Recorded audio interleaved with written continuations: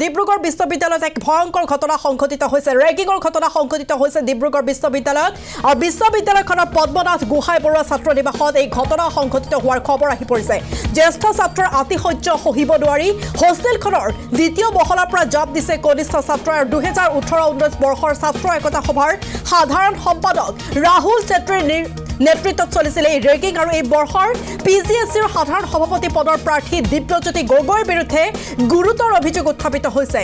শনিবাৰে হোষ্টেলখনৰ বি ব্লকত মাজনিশা উন্মত্ত যুৱকৰ দলটোৱে শাৰীৰিকভাৱে প্ৰহাৰ কৰে আনন্দ শৰ্মা নামৰ বাণিজ্য বিভাগৰ প্ৰথম ষান্মাসিকৰ ছাত্ৰজনক। আৰু বৰ্তমান ডিব্ৰুগড় আদিত্য নাৰ্ছিং হোমৰ আই চি ইউত চিকিৎসাধীন অৱস্থাত আছে ছাত্ৰজন আৰু ইফালে ঘটনাত আহত আন দুজন ছাত্ৰক ডিব্ৰুগড় বিশ্ববিদ্যালয় প্ৰশাসনে নিৰাপত্তাৰ খাতিৰত ৰাখিছে।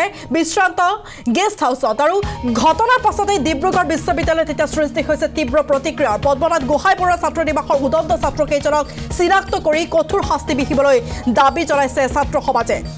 পুনৰবাৰ বিতৰ্কৰ আৱত আৱৰ্তন সোমাই পৰিছে ডিব্ৰুগড় বিশ্ববিদ্যালয়। এইবাৰ ৰেগিঙৰ দৰে ঘৃণনীয় কাৰ্য সংঘটিত হৈছে ডিব্ৰুগড় বিশ্ববিদ্যালয়ত। ডিব্ৰুগড় বিশ্ববিদ্যালয়ৰ পদ্মনাথ গোহাঁই বৰুৱা হোষ্টেলত সংঘটিত হৈছে এই ঘটনা। বাণিজ্য বিভাগৰ প্ৰথম ষান্মাসিকৰ ছাত্ৰ আনন্দ শৰ্মা নামৰ ছাত্ৰ এগৰাকীৰ ওপৰত বিশ্ববিদ্যালয়ৰ প্ৰাক্তন সম্পাদক ৰাহুল চেত্ৰী আৰু এইবাৰৰ ছাত্ৰ একতা সভাৰ নিৰ্বাচনৰ সভাপতি পদৰ প্ৰাৰ্থী দিব্যজ্যোতি গগৈৰ নেতৃত্বত অহা এটা আৱাসীৰ দলে অমানসিক নিৰ্যাতন চলোৱাৰ অভিযোগ উত্থাপিত হৈছে। অভিযোগ উত্থাপন হৈছে পুনৰবাৰ জনাইছোঁ আনন্দ শৰ্মা আনন্দ শৰ্মা নামৰ এগৰাকী ছাত্ৰক ৰেগিঙৰ অভিযোগ উত্থাপন হৈছে। ৰাহুল চেত্ৰী আৰু দিব্যজ্যোতি গগৈ নামৰ দুজনকৈ ছাত্ৰৰ বিৰুদ্ধে আৰু ৰাহুল চেত্ৰী হৈছে প্ৰাক্তন সাধাৰণ সম্পাদক বিশ্ববিদ্যালয়খনৰ আৰু দিব্যজ্যোতি গগৈ এইবাৰৰ ছাত্ৰ একতা সভাৰ নিৰ্বাচনৰ সভাপতি পদৰ প্ৰাৰ্থী আৰু এই দুয়োজনৰ নেতৃত্বত সমগ্ৰ ঘটনা সংঘটিত হোৱাৰ খবৰ আহি পৰিছে আৰু যোৱা নিশা সংঘটিত হৈছিল এই অমানসিক নিৰ্যাতনৰ ঘটনা যাৰ ফলত কনিষ্ঠ ছাত্ৰগৰাকীয়ে আত্মৰক্ষা আৰু গ্লানি অত্যাচাৰ সহিব নোৱাৰি হোষ্টেলটোৰ বি ব্লকৰ দ্বিতীয় মহলাৰ পৰা জঁপিয়াই দিয়াত গুৰুতৰভাৱে আঘাতপ্ৰাপ্ত হৈ বৰ্তমান চিকিৎসাধীন অৱস্থাত আছে। জানিব পৰা মতে আদিত্য নাৰ্ছিং হোমৰ আই চি ইউত সংকটজনক অৱস্থাত চিকিৎসাধীন হৈ আছে আনন্দ শৰ্মা নামৰ সেই ছাত্ৰজন। আৰু আনন্দৰ লগতে আৰু দুগৰাকী ছাত্ৰকো নিৰ্যাতন চলোৱাৰ কথা পোহৰলৈ আহিছে বুলি জানিব পৰা গৈছে। দুজনকৈ ছাত্ৰ আৰু দুজনকৈ ছাত্ৰক নিৰ্যাতন চলাইছে। মুঠ তিনিজন ছাত্ৰক অমানসিক নিৰ্যাতন চলাইছে। এই দুইজনকৈ ছাত্ৰই ৰাহুল চেত্ৰী আৰু দিব্যজ্যোতি গগৈৰ বিৰুদ্ধে এই গুৰুতৰ অভিযোগ উত্থাপন হৈছে। ৰাজহাড় আৰু মূৰত আঘাতপ্ৰাপ্ত হৈছে আনন্দ শৰ্মা আৰু বৰ্তমান আনন্দ শৰ্মা চিকিৎসাধীন অৱস্থাত আছে। আহত ছাত্ৰজনৰ ঘৰ চৰাইদেউৰ সোণাৰীত বুলি জানিব পৰা গৈছে। অৰ্থাৎ বাণিজ্য শাখাৰ প্ৰথম যি ষান্মাসিকৰ ছাত্ৰ আনন্দ শৰ্মা। আনন্দ শৰ্মাৰ ঘৰ হৈছে চৰাইদেউৰ সোণাৰীত আৰু এনেদৰে এতিয়া শংকিত হৈ পৰিছে ভুক্তভোগী ছাত্ৰজনৰ পৰিয়ালবৰ্গও এনেদৰে তেওঁলোকে আহি দোষীক উচিত শাস্তি প্ৰদানৰ বাবে দাবী জনোৱা পৰিলক্ষিত হৈছে। কেৱল পৰিয়ালবৰ্গই নহয় বিশ্ববিদ্যালয়খনৰ আন আন সচেতন ছাত্ৰ ছাত্ৰীসকলেও এতিয়া দোষীয়ে উচিত শাস্তি পাবৰ বাবে দাবী উত্থাপন কৰা পৰিলক্ষিত হৈছে। পুনৰবাৰ জনাইছোঁ বিশ্ববিদ্যালয়ৰ প্ৰাক্তন সাধাৰণ সম্পাদক ৰাহুল চেত্ৰী আৰু এইবাৰ ছাত্ৰ একতা সভাৰ যি নিৰ্বাচনৰ সভাপতি পদৰ প্ৰাৰ্থী দিব্যজ্যোতি গগৈ ৰাহুল চেত্ৰী আৰু দিব্যজ্যোতি গগৈৰ বিৰুদ্ধে এই ৰেগিং সংঘটিত কৰাৰ গুৰুতৰ অভিযোগ উত্থাপন হৈছে। দুয়োজনৰ নেতৃত্বত যোৱা এটা দলে অমানসিক নিৰ্যাতন চলাইছে। বিশ্ববিদ্যালয়খনৰ তিনিজনকৈ ছাত্ৰক যাৰ ভিতৰত এজন ছাত্ৰ বৰ্তমান গুৰুতৰভাৱে আঘাতপ্ৰাপ্ত হৈ আই চি ইউত চিকিৎসাধীন অৱস্থাত আছে। লগতে দুজন ছাত্ৰ গুৰুতৰভাৱে আঘাতপ্ৰাপ্ত হোৱাৰ খবৰ আহি পৰিছে আৰু আনন্দ শৰ্মাই ৰাজহাড় আৰু মূৰত গুৰুতৰভাৱে আঘাত পোৱা বুলি জানিব পৰা গৈছে আৰু আহত ছাত্ৰজনৰ ঘৰ হৈছে চৰাইদেউৰ সোণাৰীত।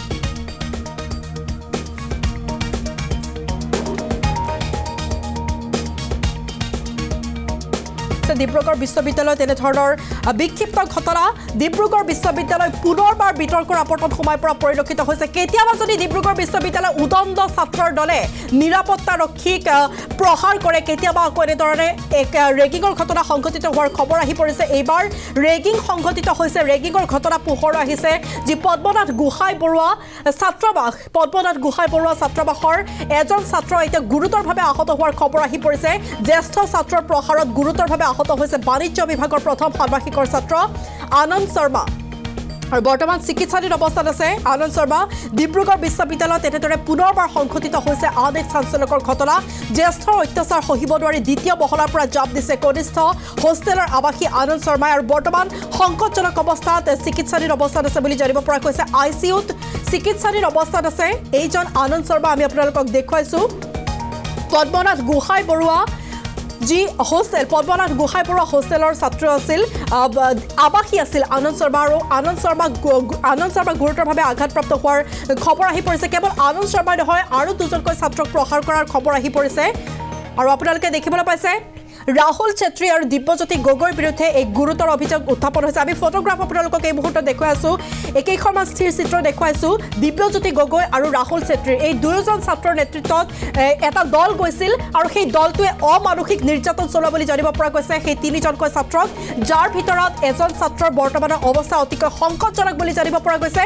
বাণিজ্য শাখাৰ প্ৰথম আহ, ষান্মাসিকৰ ছাত্ৰ আনন্দ শৰ্মা বৰ্তমান সংকটজনক অৱস্থাত আই চি ইউত চিকিৎসাধীন অৱস্থাত থকা বুলি খবৰ আহি পৰিছে আৰু আন দুজন যুগ আন দুজন ছাত্ৰও আছে। সেই সেই দুজন ছাত্ৰ গুৰুতৰভাৱে আঘাতপ্ৰাপ্ত হোৱা বুলি জানিব পৰা গৈছে। আৰু এই মুহূৰ্তত আমি ছাত্ৰ একতা ডিব্ৰুগড় বিশ্ববিদ্যালয়ৰ ছাত্ৰ একতা সভাৰ সভাপতিৰ সৈতে ফোনযোগে সংযুক্ত হৈছোঁ। আমি তেওঁৰ পৰা সবিশেষ জানিবলৈ বিচাৰিম। হয় আপোনাক আমাৰ বাতৰিৰ মাজলৈ স্বাগতম জনাইছোঁ। যিহেতুকে পুনৰবাৰ বিতৰ্কৰ আৱৰ্তত সোমাই পৰিছে ডিব্ৰুগড় বিশ্ববিদ্যালয় এইবাৰ ৰেগিঙৰ দৰে বিক্ষিপ্ত ঘটনা সংঘটিত হোৱাৰ খবৰ আহি পৰিছে। আপোনাৰ পৰা জানিব বিচাৰিছোঁ যিহেতুকে ৰাহুল চেত্ৰী আৰু দিব্যজ্যোতি গগৈৰ বিৰুদ্ধে এই গুৰুতৰ অভিযোগ উত্থাপন হৈছে। দুয়োজনৰ বিৰুদ্ধে কেনেকুৱা ধৰণৰ ব্যৱস্থা গ্ৰহণ কৰা হৈছে? লগতে আনন্দ শৰ্মাৰ উপৰিও আৰু দুজন ছাত্ৰ গুৰুতৰভাৱে আঘাতপ্ৰাপ্ত হোৱা বুলি খবৰ আহি পৰিছে। তেওঁলোকৰ অৱস্থা বৰ্তমান কেনেকুৱা? অতিকৈ দুখিত মই। যেতিয়া খবৰটো পাইছো খবৰটো পাই লগালগ যেতিয়া মই হস্পিটেললৈ আহিছো হস্পিটেল অহাৰ পিছত যেতিয়া লগ কৰি আই চিউত আই চিউত লগ কৰি ল'ৰাজনে চকু পানী উলিয়াই যেতিয়া কথাখিনি কৈছে যে তেওঁলোক কি কি হ'ল কি কি নহ'ল পঢ়ি আহিছিলো বুলি কৈছে লাইব্ৰেৰীৰ পৰা উভতি আহোঁতে চিনিয়ৰসকলে বা যোন যোন আছিলে তাত যিকেইটা নাম ব্যক্ত কৰিছে কথা কওঁতে বহুত বহুত দুখিত অনুভৱ কৰিলো মই। তাৰপৰা আৰু যিটো ন্যায়ৰ কথা যিটো কথা কৈছে আপোনালোকে মই এইটো এটা কথা ক'ব বিচাৰিছো আমাৰ ডিব্ৰুগড় বিশ্ববিদ্যালয়ৰ এখন ডিচিপ্লিনাৰী কমিটি আছে।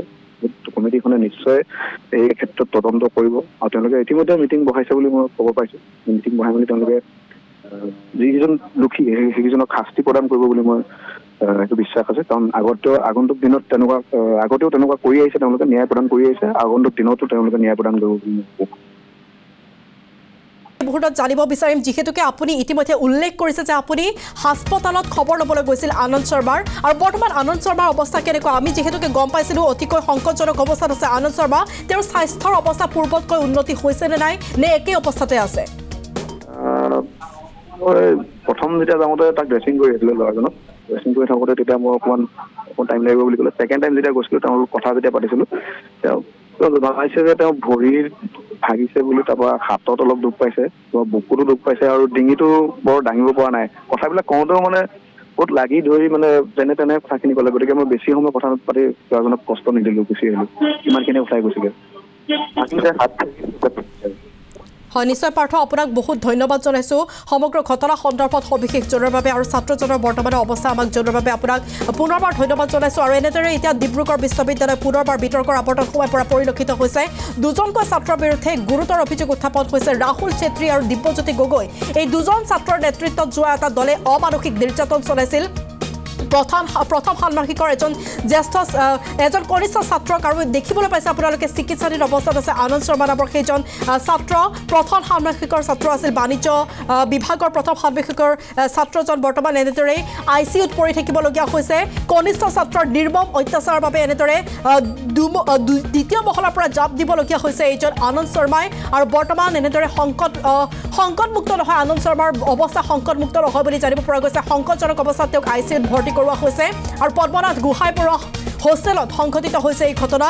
পদ্মনাথ গোহাঁই বৰুৱা ছাত্ৰাবাসৰ আৱাসী আছিল আনন্দ শৰ্মা আৰু ৰাহুল চেত্ৰী আৰু দিব্যজ্যোতি গগৈ। এই দুজন ছাত্ৰৰ নেতৃত্বতে সমগ্ৰ ঘটনা সংঘটিত হোৱাৰ অভিযোগ উত্থাপন হৈছে। এতিয়া পৰৱৰ্তী সময়ত লক্ষণীয় হ'ব এই দুয়োজন অভিযুক্ত ছাত্ৰৰ বিৰুদ্ধে কেনেধৰণৰ ব্যৱস্থা গ্ৰহণ কৰা হয় কিয়নো এজন হৈছে ডিব্ৰুগড় বিশ্ববিদ্যালয় ছাত্ৰ একতা সভাৰ প্ৰাক্তন সাধাৰণ সম্পাদক বুলি জানিব পৰা গৈছে ৰাহুল চেত্ৰী আৰু আনহাতে যদি আমি চাওঁ এইবাৰ ছাত্ৰ একতা সভা নিৰ্বাচনৰ সভাপতি পদৰ প্ৰাৰ্থী হৈছে দিব্যজ্যোতি গগৈ। আৰু এই দুয়োজনৰ বিৰুদ্ধে সংঘটিত উত্থাপিত হৈছে অভিযোগ গুৰুতৰ অভিযোগ উত্থাপন হৈছে। ৰেগিঙৰ বিৰুদ্ধে বিভিন্ন সময়ত ৰেগিঙৰ বিৰুদ্ধে বিভিন্ন সময়ত বিভিন্ন নিষেধাজ্ঞা জাৰি কৰি অহা হৈছে আৰু ৰেগিং যিসকলে ৰেগিং কৰি আহিছে তেওঁলোক তেওঁলোকৰ বিৰুদ্ধে কঠোৰ ব্যৱস্থা গ্ৰহণ কৰি আহিছে বিভিন্ন সময়ত। আইন আইনৰ কঠোৰ ব্যৱস্থা আছে ৰেগিঙৰ বিৰুদ্ধে। এতিয়া পৰৱৰ্তী সময়ত লক্ষণীয় হ'ব এই দুয়োজন ছাত্ৰ নেতাৰ বিৰুদ্ধে কেনেধৰণৰ ব্যৱস্থা গ্ৰহণ কৰা হয় কিয়নো তেওঁলোকে ৰেগিঙৰ দৰে এক অপৰাধমূলক ঘটনা সংঘটিত কৰিছে আৰু তেওঁলোকৰ ৰেগিঙৰ বাবে অত্যাচাৰৰ বাবে এজন ছাত্ৰ এতিয়া আই চি ইউ তেনেদৰে পৰি থাকিবলগীয়া হৈছে। গতিকে এই ছাত্ৰজনৰ যিয়ে সমগ্ৰ ঘটনা এই সমগ্ৰ ঘটনা এই সমগ্ৰ অৱস্থাৰ বাবে দায়ী হৈছে এই দুয়োজন ছাত্ৰ আৰু সেই দুজন ছাত্ৰ নেতাৰ বিৰুদ্ধে কেনেধৰণৰ ব্যৱস্থা গ্ৰহণ কৰা হয় সেয়া হ'ব পৰৱৰ্তী সময়ত লক্ষণীয়।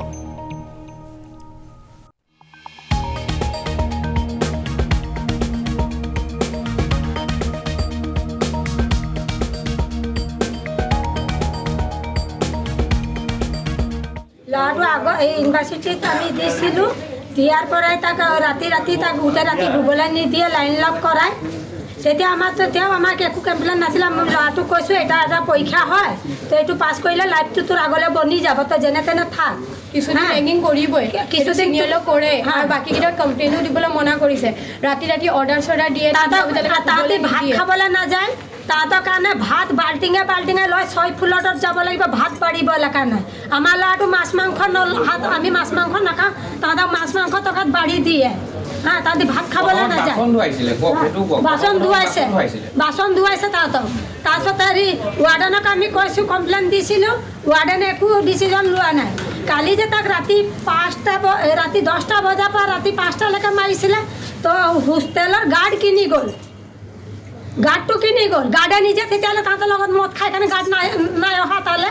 আজিলৈকে ইমানবাৰ কমপ্লেইন দিলে তেতিয়া ৱাৰ্ডেনে কৈছে আমি একো কৰিব নোৱাৰোঁ আমি যাওঁ তেতিয়া লাইট অফ কৰি দিয়ে আৰু মোক বোলে ঘেৰাও কৰে তো মই একো কৰিব নোৱাৰোঁ। আমি ইয়াত যেতিয়া ক'লে কি তোমালোকক একো একশ্যন নলয় তোমালোকে কমপ্লেইন দিয়া। সি দুবাৰ একশ্যন আমি ৱাৰ্ডেনক ইমানো কৈছোঁ যি টাইমত ভাত দিয়ে সেই টাইমত আপোনালোকে তাত গৈ যি ভাত দিয়ে তাত থাকক।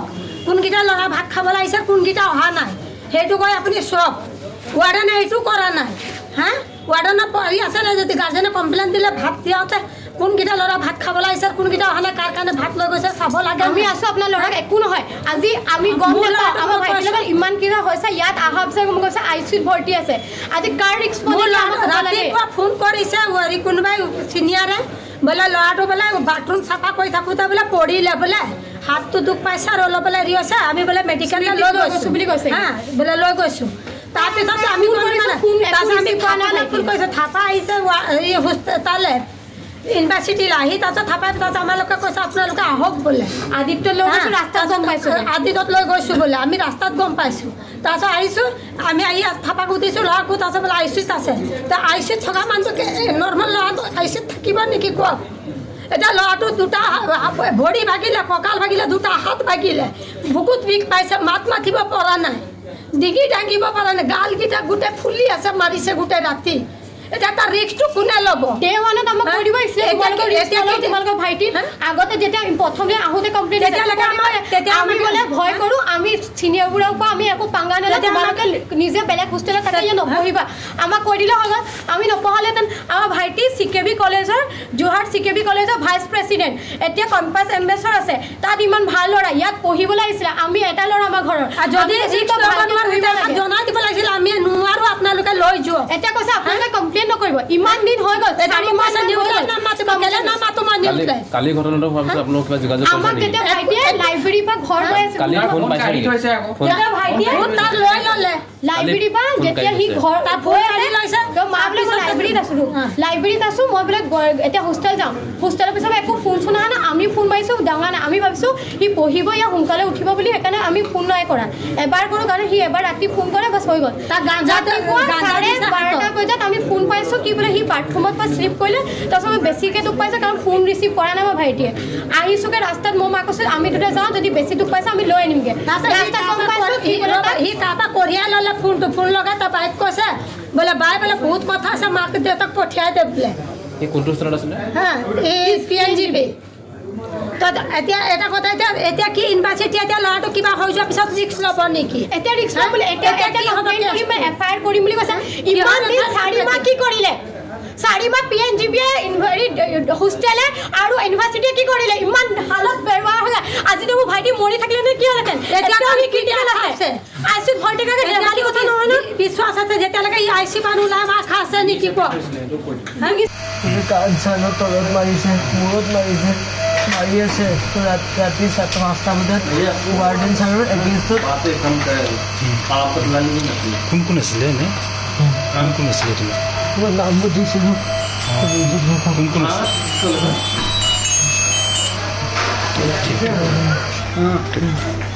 কোন দিছিলোঁ ইউনিভাৰ্চিটিত। হা? কমপ্লেইন আমি ৱাৰ্ডেনক কমপ্লেইন দিছিলোঁ ওপৰলৈকে কমপ্লেইন দিছিলোঁ। একো হেৰি নকৰিলে এতিয়া ডিচি এতিয়া কি ডিচিজন ল'ব কওক? এই ল'ৰাটোৰ অৱস্থা হৈ- হৈ যোৱাৰ পিছত এতিয়া ইউনিভাৰ্চিটিয়ে কি ডিচিজন ল'ব কওক? এতিয়া মোৰ ল'ৰা নহয় এতিয়া আৰু কাৰোবাৰ ল'ৰা হয় আৰু চাৰিটা ল'ৰা বোলে পাইছে দুখ বোলে আৰু চাৰিটা ল'ৰাক মাৰিছে বোলে। সেইকেইটাকো আনিছিলে লৈ গ'ল বোলে। হা। বিয়া পতা আছে তো সি কৈছে কি মা মৰি বাক মাহঁতক পঠিয়াই দে মই বোলে বাথৰুমত পৰিলোঁ বোলে। তাৰপিছত আমি ফোন কৰিছোঁ ফোন কৰাৰ কাৰণে। আকৌ আমি কৈছোঁ আমি বোলে বেছি দুখ পাইছে আমি যাওঁগৈ তাক খবৰ কৰিবৰ কাৰণে আমি যদি বেছি দুখ পাইছে আমি তাক লৈ আহিমগৈ। আহিবৰ কাৰণে ৰাস্তাত গম পাইছোঁগৈ তাক বোলে আদিত্যক লৈ আনিলে। আদিত্য লৈছে যদিও বেছিকৈ থৈছে তাৰপিছত থাপা দাদাক কৈ ফোন কৰিছোঁ কি বোলে তাক বোলে বেছি ফেক দুখ চুপ পাইছে বোলে তাৰপিছত বোলে ৰ'ব মই খবৰ কৰিছোঁ। থাপা দাই কৈছে কি তাক বোলে আদিত্য নিছোঁ তোমালোকে বোলে আহি যোৱা। মই কৈছোঁ ঠিক আছে বেছি কিবা হৈছে নেকি? চিনিয়ে পিনে মাৰিছে নেকি? তাৰপিছত কৈছে নাই একো হোৱা নাই তোমালোকে আহা তেতিয়া গম পাবা বোলে। আহিছোঁ ইয়াত আহি তিয়লত থিয় হৈছোঁ ভাইটি ক'ত আছে বোলে? আই চিউত আছে। আই চিউত গৈ বোলে খবৰ ভাইটিক সুধিছোঁগৈ কি হৈছে বোলে? চিনিয়ৰকেইটা ৰাতি মোক মাৰিছে। মই যেতিয়া লাইব্ৰেৰীৰ পৰা ৰিটাৰ্ণ আহোঁতে ফোনটো লৈ লৈছে ৰাতি বোলে গোটেই ৰাতি মাৰিছে। ৰাতি পাঁচটা বজাত ৰাতিপুৱা পাঁচটা বজালৈকে চিনিয়ৰকেইটা ৰুমত সোমাই আছে। দাৰু বটল আৰু হেৰি দি দিছে ভাং দি দি হাতত ৰেকৰ্ড কৰিছে। যদি তই কমপ্লেইন কৰ আমি কৈ দিম তই বোলে এইকেইটা মাল চাল খাই আছিলি সেইকাৰণে বোলে আমি তোক বোলে পিটিলোঁ বুলি কৈ দিমগৈ বোলে। তাৰপিছত সি যেতিয়া ৱাৰ্ডেনক চাই চিঞৰিলে তেতিয়া তাক ডিঙি চেপা দিছে সি নিজৰ জান বচাই পেলাই ছেকেণ্ড ফ্ল'ৰ পৰা জাপ মাৰিছে। ইয়াৰ আগতো ছেকেণ্ড চাৰি মাহ হৈ গ'ল সি কমপ্লেইন দি আছে। ৱাৰ্ডেনে কয় বোলে "এ, মই বোলে অকলে ক'ব নোৱাৰোঁ মই হোষ্টেল গ'লে ঘেৰাও কৰি দিয়ে তুমি বোলে ওপৰত ৰিপৰ্ট দিয়া। সি অকলে ৰিপৰ্ট কৰিছে তাৰপিছত ইলেকশ্যন আহোঁতে বাটটো খতম হৈ গৈছে কোনো একো একশ্যন লোৱা নাই। তাৰপিছত যেতিয়া সি দেৱালী সময়ত ঘৰ গৈছে মাৰ গা বেয়া খবৰ ল'ব গৈছে। তেতিয়া যিমান জুনিয়ৰ আছে ৰিপৰ্ট কৰি দিছে কি ছিনিয়ৰ আগেনষ্টত ৰেগিঙৰ কাৰণে দি- দিছেগৈ। তাৰপিছত সি কৈছে কি ছিনিয়ৰকেইটা এটা গ্ৰুপ আছে গ্ৰুপত গালি চালি দিয়ে। তাৰপিছত কি হৈছে ইমান মাতিবৰ কাৰণে ইমান গালি ইউজ কৰে। আমি শুনিয়ে মানে বিপ বিপ ইমানেই ফাল্টু ফাল্টু গালি দি আছোঁ জুনিয়ৰকেইটা মাতিবৰ কাৰণে। আ নহ'লে তহঁতি কেলা ৰাতি শুবি নেকি? আমুক চামে চব বেয়া বেয়া গালি দিয়ে মা ভনীক লৈ। তাৰপিছত যেতিয়া সি যোৱা আছিলে তেতিয়া কৈছে চব চিনিয়ৰকেইটা ফাটি গৈছে। এতিয়া কৈছে আমাৰ এই জন্তু বহুত ভাল আছে সিহঁতক কি সিহঁতিতো নিজৰ নাম ডিক্লেয়াৰ কৰিব নোৱাৰে। আহিছে তেনেকৈ কৈছে এতিয়া ঠিক আছেনে অঁ বোলে এতিয়া বোলে একো আমাক হেৰি ভাত চাত আনিব চানিব একো কোৱা নাই। গোটেই ইউনিভাৰ্চিটিটো বোলে এতিয়া হোষ্টেলটো বোলে ঠাণ্ডা হৈ আছে। তাৰপিছত আমি ভাবিছোঁ ভালেই আছে সি পঢ়াত বেচেৰা লাগি আছে। কালি এই ঘটনা হৈছে বুলি আমি একো নাজানো। এতিয়া আহি পেলাই আমাৰ ভাইটিৰ পৰা গম পাইছোঁ। আজি ইমান দিন হৈ গ'ল চাৰি মাহ হৈ পেলাই এইটো কাম হৈ আছে। আজি ইউনিভাৰ্চিটিয়ে কি একটা একশ্যন ল'ব পৰা নাই নেকি? হা? এ- কেইজনৰ নাম লৈছে আপোনাৰ আগত? আমাৰ ওচৰতো পাঁচজনমান আছে বুলি কৈছেগৈ। মোৰ ওচৰত নামকেইটা মোৰ এটা মনত নাই। কি কি নাম কৈছিলে? কি কি নাম আছিলে ভাইটি? কাৰোবাৰ এজনে কৈছিলে মোৰ নিজৰটো এটা নামকেইটা মনত নাইগৈ। আপোনালোকে তাক সুধি ল'ব পাৰে। প্ৰথম কথা হ'ল যে ল'ৰাজন এতিয়া বৰ্তমান আই চি ইউত আছে। আই চি ইউত আমি গৈ পেলাই খবৰ কৰিলোঁ মাকক মাকৰ লগতো কথা পাতিছোঁ। আই চি ইউত যেতিয়া গৈ পেলাই ল'ৰাজনৰ কথা পাতিছোঁ ল'ৰাজনে মানে কান্দিবলৈ ষ্টাৰ্ট কৰিছে প্ৰথম। যে কান্দিবলৈ আৰম্ভ কৰিছে কাম কান্দিবলৈ আৰম্ভ কৰোঁতে মই সুধিছোঁ যে তই অলপ জনাই কচোন কি হৈছে তোৰ লগত? তেতিয়া সি ক'লে যে এনেকৈ কালি ৰাতি কিছুমান ঘটনা হ'ল তাৰ লগত কিবা সেইখিনি ব্যক্ত কৰিব। কিন্তু কথাটো হ'ল যে ডিব্ৰুগড় বিশ্ববিদ্যালয়ৰ ইমানখিনি ছাত্ৰাবাস আছে। আমি একেলগে থাকোঁ। আমি একেলগে থাকি পঢ়া শুনাও কৰোঁ আমি কিবা পৰীক্ষাৰ সময়ত আমি ইটো সিটো নোটছ বিচাৰি যাওঁ। ককাই ভাই নিচিনাকৈ আমি একেলগে থাকোঁ। কিন্তু এটা ছাত্ৰাবাসত যিটো ঘটনা হ'ল কালি ৰাতি যিটো ঘটনা হৈ গৈছে ল'ৰা ল'ৰাজনে ভয়ত মাৰ খাইছে। মাৰ খোৱাৰ পিছত ল'ৰাজনে ভয়ত দুমহলীয়া ওপৰৰ পৰা জঁপিয়াই দিবলগীয়া হৈছে। যাৰ ফলত আজি আই চি ইউত ভৰ্তি হৈছে ল'ৰাজন। আনন্দ শৰ্মা তেওঁ কমাৰ্চ কমাৰ্চ ডিপাৰ্টমেণ্ট আছিলে তেওঁ ৰেগিঙৰ ল'ৰাটোৰ লগত যেতিয়া আই চি ইউত কথা পাতিছোঁ সি নিজে জনাইছে মানে কথাখিনি যে তাৰ কিছুমান এণ্টি ৰেগিং কিছুমান আছিলে মানে তাৰ আগতে কিবা কিবি সি এণ্টি ৰেগিঙত কমপ্লেইন মাৰিছিলে চাগে মে বি তেতিয়া কমপ্লেইন মৰাৰ পিছত তাক মানে আটক কৰিছোঁ যে তই কেলৈ কৰিবি বা কিবা কিবি আপুনি মেনশ্যন কৰিব পাৰিবনে কোনকেইজনৰ ল'ৰাৰ ক্ষেত্ৰত মানে কোন জড়িত আছিলে ঘটনাৰ ক্ষেত্ৰত যিহেতু তেওঁ আত্মৰক্ষাৰ কাৰণে জঁপিয়াবলগীয়া হ'ল? নামখিনি মই ডাইৰেক্টলি ব্যক্ত কৰিব বিচৰা নাই সেইখিনি ল'ৰাজনে নিজে ক'ব। কিন্তু এজন প্ৰাক্তন ছাত্ৰৰ কথা কৈছিলে। এজন প্ৰাক- প্ৰাক্তন ছাত্ৰ আছে বুলি স্পষ্ট কৈছিলে মানে। আৰু আমাৰ ডিব্ৰুগড় বিশ্ববিদ্যালয়ৰ এখন ডিচিপ্লিনাৰী কমিটি আছে। ডিচিপ্লিনাৰী কমিটিত এতিয়া ইতিমধ্যে কথা পাতিবলৈ সিহঁতি আৰম্ভ কৰিছে। তেওঁলোকে কথা পাতি নিশ্চয় মই ভাবোঁ তেওঁলোকে ন্যায় প্ৰদান কৰিব বুলি। অঁ আপুনি মাকৰ লগত কথা পাতিলে গম পাবই যে য- যোৱা চাৰি মাহ ধৰি ল'ৰাজনৰ লগত এই মাক আছে ইয়াত। বছৰ আমাৰ মাক হয়। ল'ৰাটো আজি মোক চাৰি মাহ পাই কৈ আছে মায়ে বোলে সদায় ৰাতি বোলে ৰাতি শুবলৈ নিদিয়ে গোটেই গোটেই ৰাতি বোলে লাইন লাভ কৰাই তাৰপিছতে সিহঁতক বোলে হেৰি খানা আনি দিব লাগে ছয়ফাললৈকে লৈ যাব লাগে তাহাঁতক ভাত বাঢ়ি দিব লাগে। তাহাঁতৰ বাচনো ধুই দিব